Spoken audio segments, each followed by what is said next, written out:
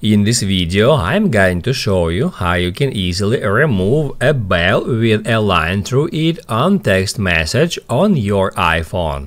Be sure to watch the video to the very end so you don't make any mistakes and of course do not forget to like this video and subscribe to my channel. Thanks guys! So let's get started and first off open up messages and then search a conversation with uh, that uh, bell sign.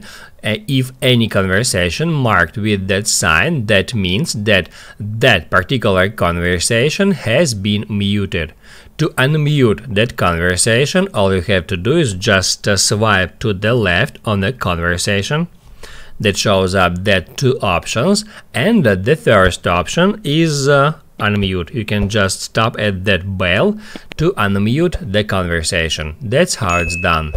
Now you can write down in the comments below if you have any questions about the tutorial, hit the like button if you liked that video and I see you in the next one.